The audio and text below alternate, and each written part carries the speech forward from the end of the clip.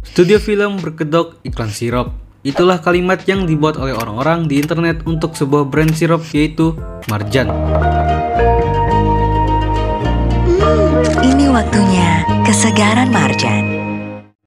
Selain itu, ada pertanyaan yang mungkin selalu ada di benak pikiran kalian. Kenapa sih iklan Marjan cuma muncul saat bulan Ramadan? Atau bagaimana Marjan bisa menjadi top of mind orang-orang saat bulan Ramadan akan tiba?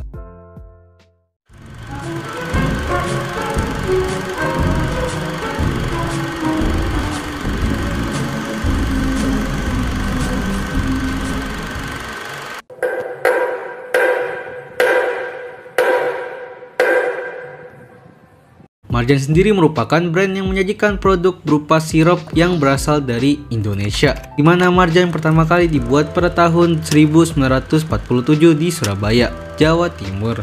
Dan pada saat awal kemunculannya, Marjan hanya memiliki satu varian rasa, yaitu rasa jeruk. Singkatnya, setelah beberapa tahun beroperasi, Marjan sudah melakukan banyak inovasi dengan menambahkan varian rasa seperti stroberi, koko pandan, melon, dan lain-lain. Bahkan Marjan menjadi produk sirup pertama yang kemasannya itu terbuat dari botol kaca di Indonesia. Marjan juga melakukan ekspor ke pasar luar negeri. Beberapa negara yang menjadi tujuan ekspor Marjan antara lain Malaysia, Brunei Darussalam, Singapura, Taiwan, dan lainnya. Gak cuma produknya saja, Marjan juga sangat terkenal dengan kampanye marketingnya. Yap, iklannya yang memang merupakan topik utama dari video ini. Jadi kenapa sih iklan Marjan selalu ada hanya menjelang bulan Ramadan aja? Kenapa pihak brand gak mau mengiklankan produknya di hari-hari biasa?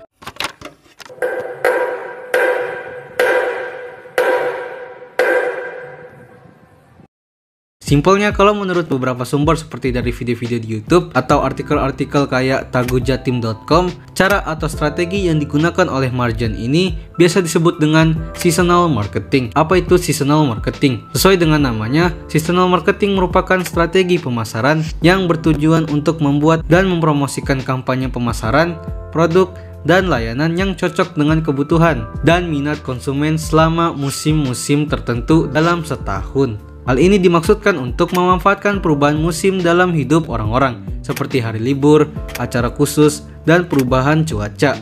Intinya adalah sebuah strategi di mana brand akan melakukan kampanye marketing pada musim atau event-event tertentu aja. Contohnya seperti produk-produk coklat yang biasanya iklannya itu banyak banget pada waktu menjelang atau saat Valentine. Atau brand Coca-Cola yang biasanya lumayan gempar marketingnya ketika hari Natal. Dan tentu saja sirup marjan yang selalu mengiklankan produknya menjelang atau saat bulan Ramadan. Apa keuntungan dari strategi seasonal marketing ini? Yang pertama terjadi peningkatan penjualan dibanding dengan hari-hari biasa. Di mana karena brand memanfaatkan momen-momen tertentu yang memang sejalan atau sealur dengan jenis produknya, otomatis banyak orang yang akan membelinya karena memang pas dengan keadaan atau momennya. Keuntungan selanjutnya adalah meningkatkan brand awareness. Untuk penjelasan brand awareness udah pernah gue bahas di video ini, jadi cek aja. Intinya brand awareness adalah kesadaran orang-orang kalau brand itu ada gitu. Sehingga karena produknya relevan dengan momen, tentu saja brand awareness ini akan meningkat. Dan semua keuntungan itulah yang didapatkan oleh produk Marjan. Sehingga produk sirup Marjan akan mendapatkan banyak pembeli karena momen buka puasa saat bulan Ramadan. Di mana notabene saat buka puasa orang-orang akan berbuka dengan minuman atau makanan-makanan yang manis-manis. Jadi intinya sirup marjan akan diiklankan menjelang atau saat bulan Ramadan saja dikarenakan marjan memang merupakan produk yang sangat relevan dengan momen Ramadan di mana orang-orang akan membeli makanan atau minuman yang rasanya manis. Lalu bagaimana iklan marjan lah yang selalu diingat saat bulan Ramadan? Kenapa nggak produk lain? Padahal brand yang gempar mengiklan saat Ramadan itu nggak cuman sirup marjan, tapi ada brand-brand lain yang memang relevan dengan momennya juga, seperti iklan bumbu-bumbu masakan, alat-alat sholat, dan lain-lain.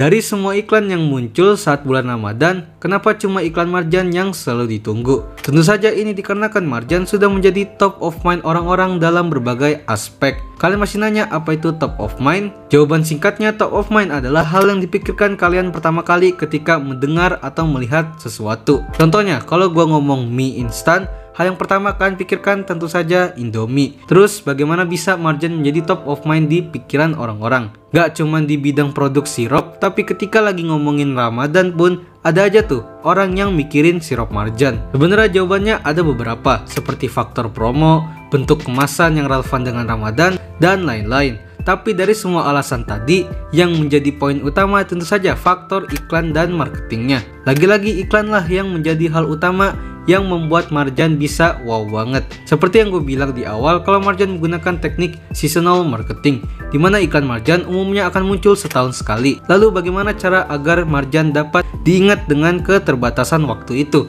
Yap, Marjan membuat iklan yang menggunakan konsep potongan cerita. Dan Marjan sudah mengimplementasikan tipe iklan seperti ini sejak tahun 2011 dan memang cukup populer pada tahun 2012 juga.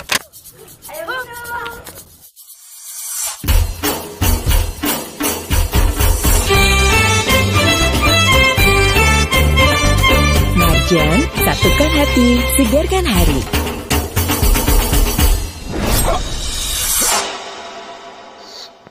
Dikarenakan iklan Marjan tidak hanya sekedar promosi, tapi terdapat pesan dan kesan yang bagus dan ceritanya menurut orang-orang itu cukup emosional. Dan dengan konsep cerita bersambung inilah orang-orang malah dibuat penasaran dengan cerita yang akan disajikan berikutnya.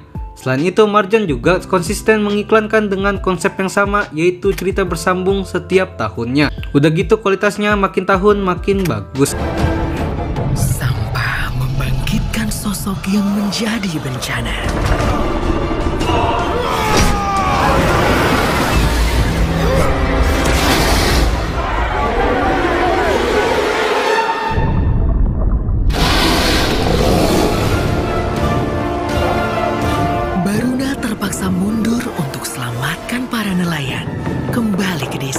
Sehingga ini membuat iklan Marjan menjadi memorable atau dapat diingat oleh banyak orang. Apalagi Marjan juga selalu merilis video iklannya sebulan sebelum Ramadan dimulai. Sehingga ini juga menjadi alasan kenapa orang-orang bikin statement kalau iklan Marjan muncul sama dengan Ramadan udah dekat. Jadi apakah kalian punya alasan lain? Atau mungkin ternyata kalian lebih tahu dan pengen koreksi gua? Bisa tambahin dan koreksi di kolom komen seperti biasa. Terima kasih telah menonton video ini. Gimana? Kalian suka Marjan nggak? Dan apakah kalian suka dengan Marjan Cinematic Universe ini? Silahkan komen juga. Intinya Marjan ini memang menggunakan teknik seasonal marketing, di mana ini merupakan strategi yang sangat cocok untuk sebuah produk sirup. Dikarenakan sirup merupakan salah satu minuman yang cocoknya itu cuma di bulan Ramadan. Jadi, jangan lupa subscribe Dazzle. Dah.